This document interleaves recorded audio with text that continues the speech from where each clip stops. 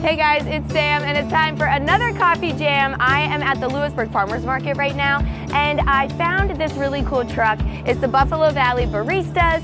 So let's go jam them. Let's go. Buffalo Valley Baristas was started by a mom and daughter duo who put the man of the house to work by restoring this horse trailer.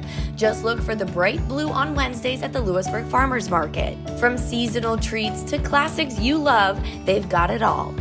They even have homemade bracelets made by the owner's daughter, Kinley. Okay, let's go try something. All right, guys, it's time for my personal favorite part of every coffee jam. I get to try some things. I got the Buffalo Valley Baristas Yeehaw Latte. It's got espresso, it's got cold foam, it's got English toffee, salted caramel, and white chocolate.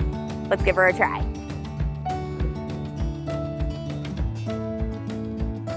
Wow, that is so good. I thought it was gonna be really sweet, but it's not. It's perfectly balanced. That English toffee, the salted caramel, and the uh, bitterness of the espresso.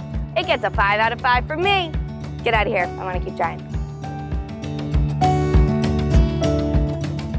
Follow the Buffalo Valley Baristas on social media so you don't miss them at an event near you.